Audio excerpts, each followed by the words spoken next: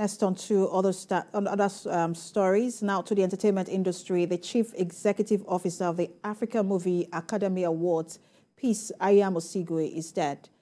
The veteran filmmaker Obi Emelonye confirmed the news in a tweet in the early hours of today, where he uploaded her picture with the message, Thank you and good night, Dada, peace.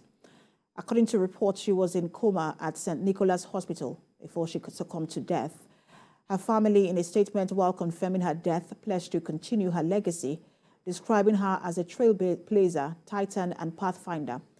Peace Anyiam-Osigwe was not only the CEO of the African Movie Academy Awards, she was also the president, Association of Movie Producers, and one of the most prominent figures in Nollywood.